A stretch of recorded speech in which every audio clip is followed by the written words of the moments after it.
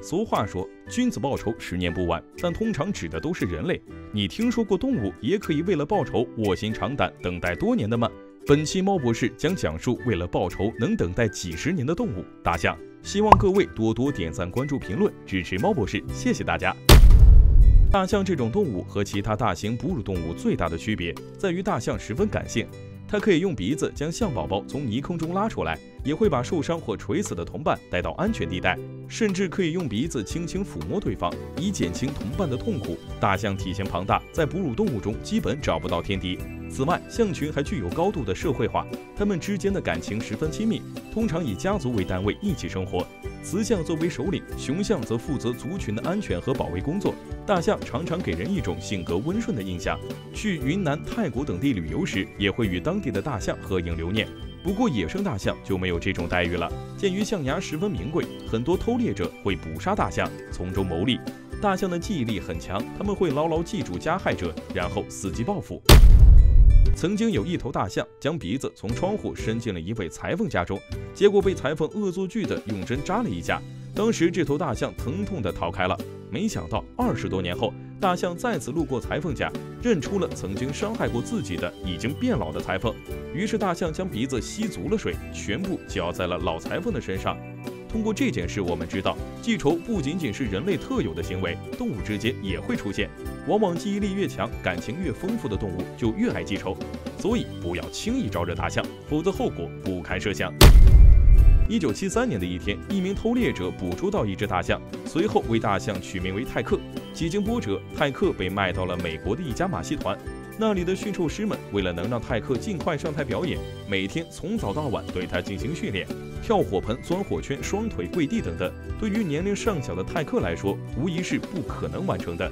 不过，利欲熏心的驯兽师自有办法让泰克完成训练。他们通过惩罚让泰克学会跪下的动作，驯兽师们利用疼痛使泰克产生条件反射，以此完成任务。当泰克一天下来都无法学会一个简单的表演动作时，驯兽师就用铁链拴住泰克的腿，让他吃喝拉撒都站在原地。如果整日被拴着，泰克也许还能接受。但马戏团为了获得更多的利益，给泰克安排的任务越来越多。当出现一点疲惫或抗拒时，驯兽师就会用烧红的铁棍抽打泰克，让他挨饿受冻，并且加以辱骂。